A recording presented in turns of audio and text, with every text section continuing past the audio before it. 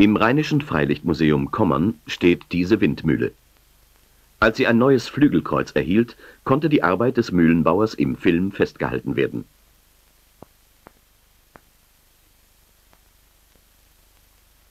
Die vier Flügel sind an zwei mächtigen Eichenbalken befestigt. Am Mühlendach, der Kappe, stecken die Bruststücke kreuzweise im Kopf der Mühlenachse. Über eine mächtige Balkenkonstruktion an der Rückseite der Mühle lässt sich die Kappe mit den Flügeln in den Wind drehen. Die Kraft des Windes wird über die Achse in das Innere der Mühle übertragen. Dies ist dieselbe Windmühle, bevor das Flügelkreuz angebracht wird. Der Achsenkopf am Dach der Mühle ist zur Aufnahme der beiden Bruststücke bereit. In diese zwei Öffnungen des Achsenkopfes müssen die Bruststücke eingezogen werden.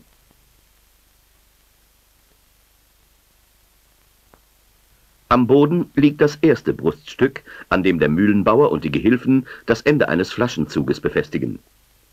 Flaschenzug und eine handbetriebene Erdwinde übernehmen die Funktion eines modernen Krans. Mit diesen einfachen Hilfsmitteln wird man die Bruststücke zum Mühlendach hochziehen. Nun setzen die Männer die Erdwinde zusammen, mit der sie das Zugseil des Flaschenzuges einholen werden. Die Erdwinde besteht aus einem Holzgestell und einem passenden Achsstück.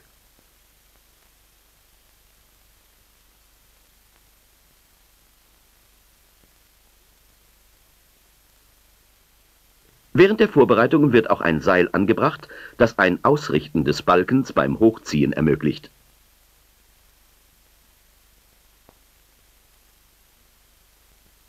Zwei kräftige Holzstangen dienen zur Übertragung der Muskelkraft auf die Erdwinde. Die Männer beginnen mit dem Hochziehen des ersten Bruststücks.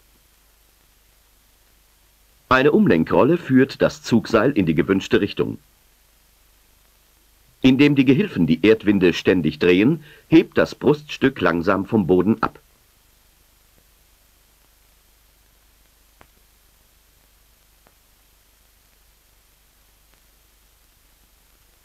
An der unteren losen Rolle des Flaschenzuges hängt die Hebelast.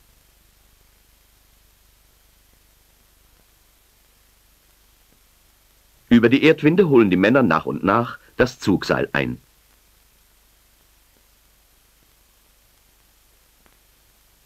Mit dem Seil, das man während der Vorbereitungen angebracht hatte, lässt sich das Bruststück in der richtigen Stellung halten.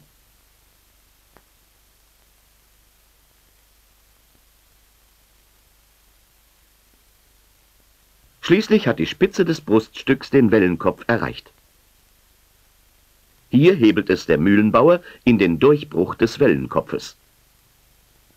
Wenn die Spitze des Bruststücks ein wenig über die Wellenkopföffnung hinausragt, muss der Mühlenbauer den Balken provisorisch festsetzen. Er verwendet dafür einen Eisenstab, den er durch ein Loch in der Bruststückspitze steckt. Dies ist nötig, da der Flaschenzug sich so verkürzt hat, dass er neu auseinandergezogen werden muss.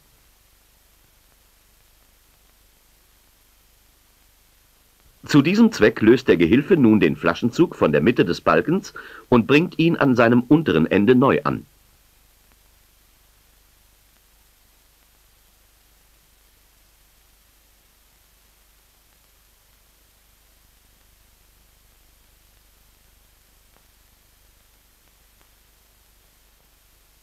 Beim Weiterdrehen der Erdwinde wird das Bruststück in den Wellenkopf eingeschoben.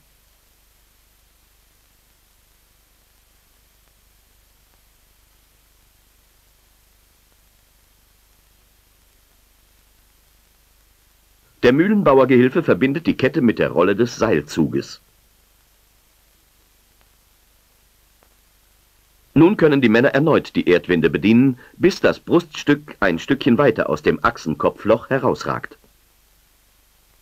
Dann schlägt der Mühlenbauer den Dollen ein, der später zur Befestigung der Flügel dient.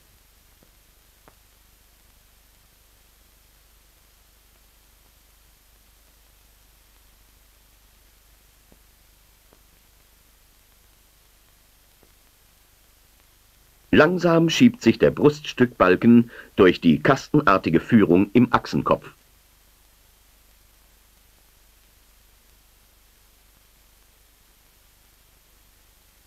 Schließlich hat das Bruststück seinen endgültigen Sitz erreicht. Nun muss es der Mühlenbauer fest verkeilen. An nur zwei Seiten schlägt der Mühlenbauer die Holzkeile ein.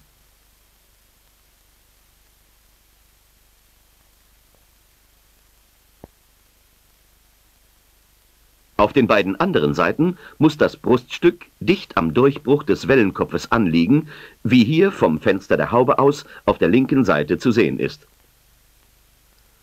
Um die Keile an der jetzt nach unten weisenden Seite des Wellenkopfes einzuschlagen, lässt der Mühlenbauer das Bruststück um 90 Grad drehen. Der Eichenbalken wird also an der gleichen Stelle beidseitig mit Keilen befestigt. Deutlich ist hier der vordere Durchbruch des Wellenkopfes zu sehen, der für das zweite Bruststück vorgesehen ist. Das zweite Bruststück liegt auf der Erde bereit. Zur Probe sind an ihm die Flügel befestigt. Jeder Flügel besteht aus einem schmalen Vorheck mit einer durchgehenden Bretterverkleidung und dem breiten Hinterheck, das durch seine sprossenartig eingesetzten Holzlatten wie eine Leiter aussieht. Verbindungsstück zwischen Vor- und Hinterheck ist die Rute. Zum Aufziehen auf die Mühle muss das Flügelpaar auseinandergenommen werden. Zunächst nehmen die Männer die Windbretter vom Vorheck ab. Eiserne Bänder halten Bruststück und Flügel zusammen.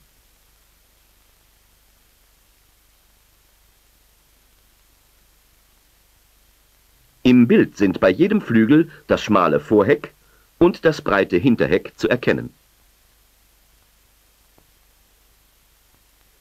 Sobald die Männer die Eisenbänder gelöst haben, können sie die Flügel vorsichtig abheben.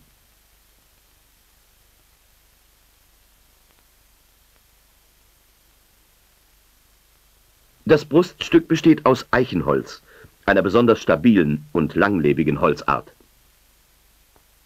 Insgesamt ist es 14 Meter lang.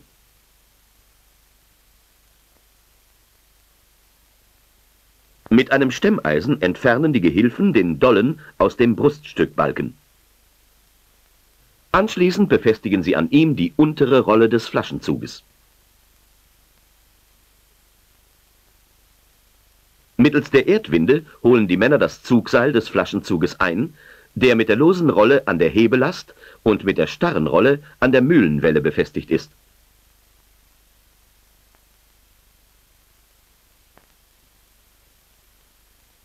Langsam hebt das Bruststück vom Boden ab. Durch das Drehen der Erdwinde verkürzt sich der ganze Seilzug und die Last wird angehoben.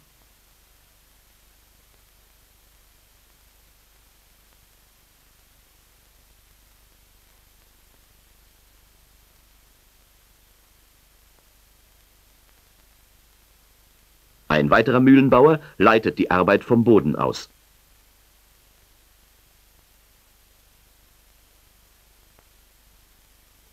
Nach weiterem Drehen reicht der Balken schon über den Wellenkopf hinaus und wird wieder mit dem Eisenstab vor dem Zurückrutschen gesichert. Der Flaschenzug ist zu kurz geworden. Der Gehilfe bringt ihn am unteren Ende des Balkens neu an.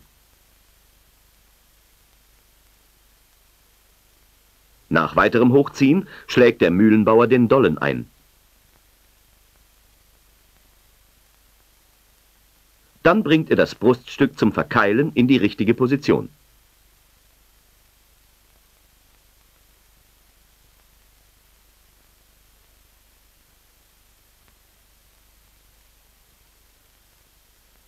Das Bruststück wird wieder an zwei Seiten des Achsenkopfes verkeilt.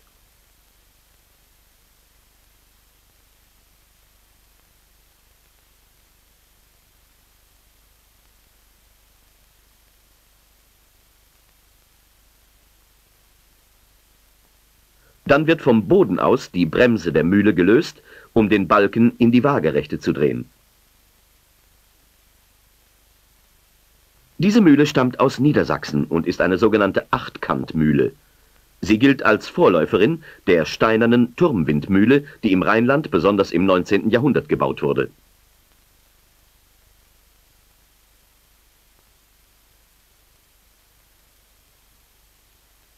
Sobald das vordere Bruststück waagerecht steht, kann der Mühlenbauer weitere Holzkeile einschlagen.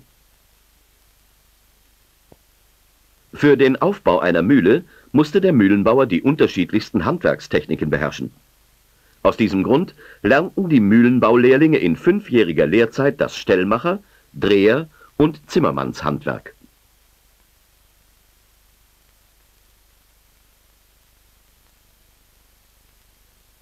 Wenn die beiden Bruststücke fest im Wellenkopf verkeilt sind, können nacheinander die zwei Flügelpaare an den Bruststücken befestigt werden.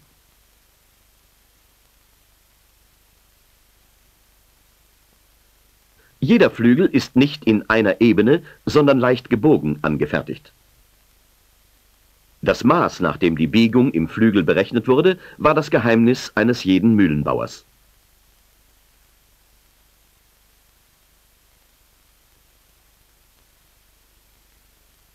Auch die Flügel werden mit Hilfe der Erdwinde und des Flaschenzuges hochgezogen.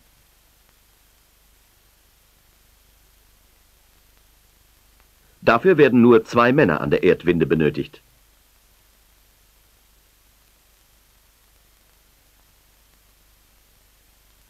Die Flügel müssen stabil, aber leicht sein. Gewöhnlich nahm der Mühlenbauer Kiefern oder Fichtenholz. Auch Pitschpein und Lärche konnten beim Flügelbau verwendet werden.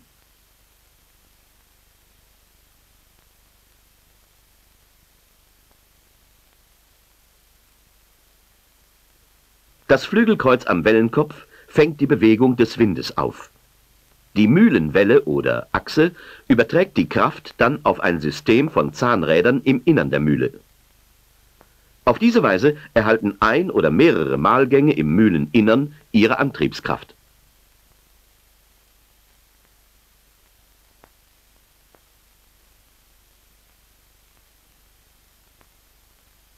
Der Flügel hat seinen Sitz auf dem Bruststück erreicht. Nun kann der Gehilfe des Mühlenbauers Bruststück und Flügel miteinander verbinden. Auf der Erde verhindern Helfer das Abrutschen des Flügels.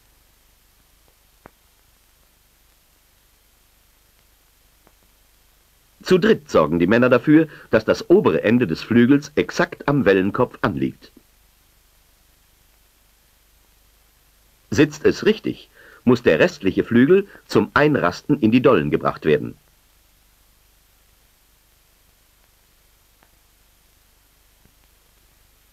Dann verbindet der Mühlenbauergehilfe Flügel und Bruststück mit Eisenbändern.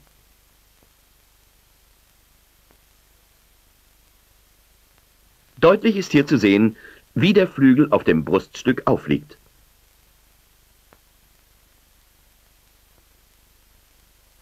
Jeder Flügel wird mit je zwei Bändern fest an das Bruststück montiert. Auf der Erde liegen die Eisenbänder zur Montage bereit.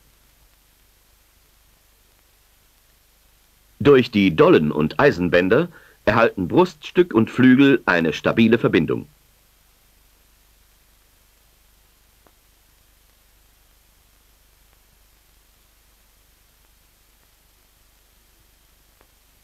Der erste Flügel ist am Bruststück befestigt. Die Mühlenwelle wird zur Aufnahme des zweiten Flügels weitergedreht.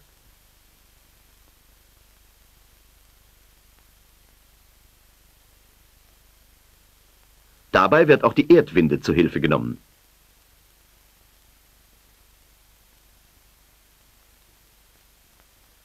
Die Flügel werden in entgegengesetzter Reihenfolge angebracht.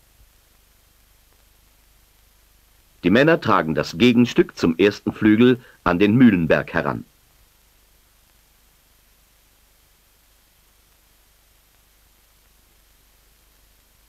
Diese Mühle stand ursprünglich in Kantrup, einem Ort bei Osnabrück. Sie ist eine der wenigen Bauten im Rheinischen Freilichtmuseum, der nicht aus dem Rheinland stammt. Die rheinischen Windmühlen stehen alle unter Denkmalschutz und dürfen nicht abgerissen werden. Nach dem Zweiten Weltkrieg wurde die Kantrupper Mühle kaum noch benutzt, da der Windbetrieb sich nicht mehr lohnte. 1969 wurde sie abgebrochen und zwei Jahre später im Rheinischen Freilichtmuseum wieder aufgebaut. Inzwischen ist auch der zweite Flügel hochgezogen. Nun muss er fest in die Dollen einrasten. Mit Eisenbändern werden Bruststück und Flügel miteinander verbunden. Das Flügelpaar, das man jetzt im äußeren Achsenkopfloch montiert hat, nennt man Feldruten. Mit Hilfe der Erdwinde wird die Mühlenwelle weitergedreht, um die Flügel am inneren Achsenkopfloch anzubringen. Diese werden als Hausruten bezeichnet.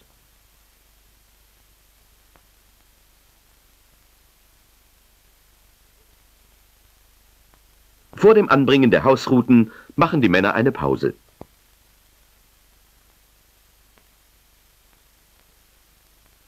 Dann muss der nächste Flügel hochgezogen werden.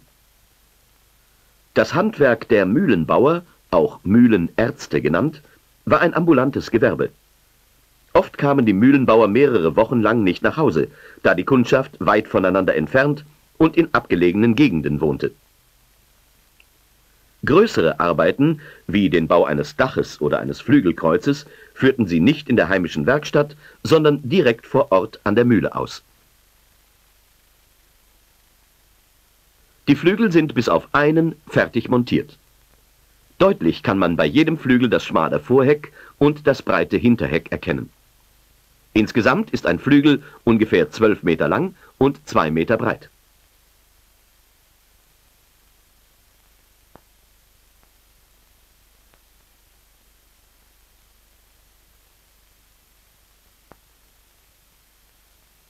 Das Flügelkreuz ist eines der empfindlichsten Teile der Windmühle. Hier fallen die häufigsten und teuersten Reparaturen an. Besonders Stürme und Gewitter können die Lebensdauer eines Flügels verkürzen. Daher beobachten die Windmüller das Wetter immer sehr genau, um den Flügeln frühzeitig den Wind nehmen zu können.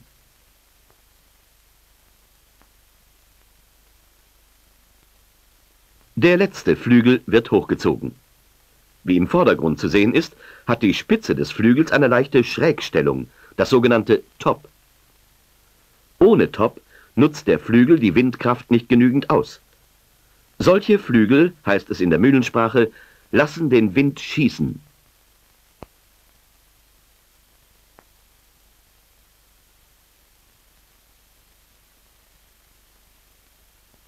Insgesamt zwei Tage brauchen die Männer, bis das Flügelkreuz vollständig montiert ist.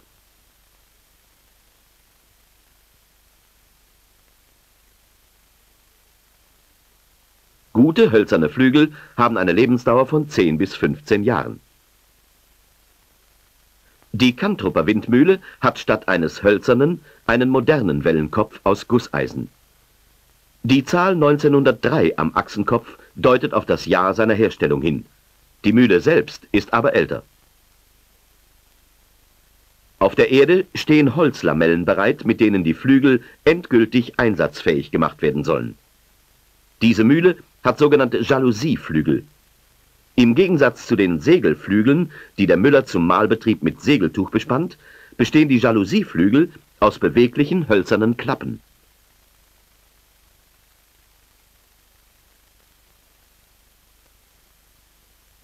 Am Hinterheck müssen die Männer die Klappen beidseitig festschrauben.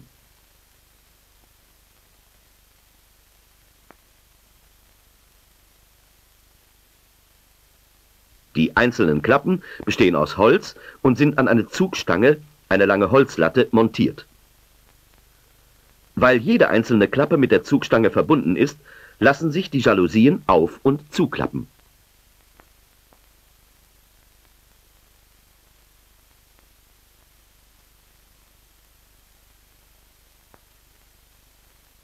Eine weitere Jalousie-Klappe wird dem Mühlenbauer und seinem Gehilfen hochgereicht. Zunächst passen die Männer sie im Hinterheck ein. Dann verschraubt der Gehilfe das Gelenk der Klappe mit der Zugstange. Währenddessen steckt der Mühlenbauer die Jalousie zwischen die äußere Strebe des Hinterhecks und eine zusätzliche Latte, die er dann festschraubt.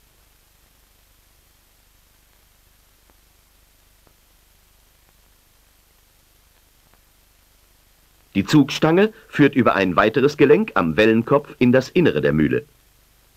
Auf diese Weise kann der Müller die Angriffsfläche für den Wind vom Inneren der Mühle aus problemlos regulieren.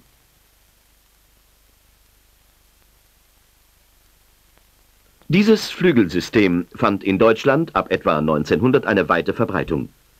Es gehört zu einer Reihe von Erfindungen, die Mühlenbauer und Ingenieure im 19. und 20. Jahrhundert zur verbesserten Ausnutzung des Windes machten. Letztendlich aber konnte die Windkraft nicht neuen Energiequellen des Industriezeitalters standhalten. Dampfmaschinen, später Elektro- und Dieselmotoren, übernahmen seit dem 19. Jahrhundert den Platz der Wind- und Wasserkraft. Spätestens nach dem Zweiten Weltkrieg gaben die meisten rheinischen Windmüller ihren Mühlenbetrieb auf. Dadurch verloren auch die Mühlenbauer ihre Existenzgrundlage. Die wenigen Mühlenbauer, die die alten Techniken beherrschen, restaurieren die noch erhaltenen Mühlen, die heute unter Denkmalschutz stehen.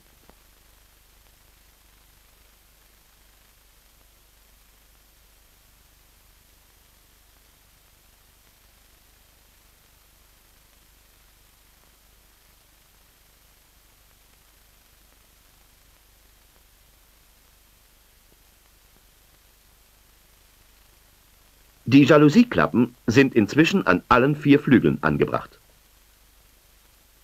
Über eine Kette löst der Mühlenbauer die Bremse der Mühle.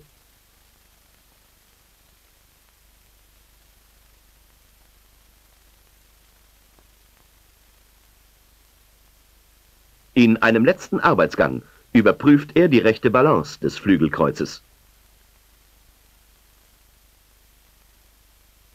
Die Flügel drehen sich leicht und gleichmäßig. Für dieses Mal ist die Arbeit des Mühlenbauers beendet.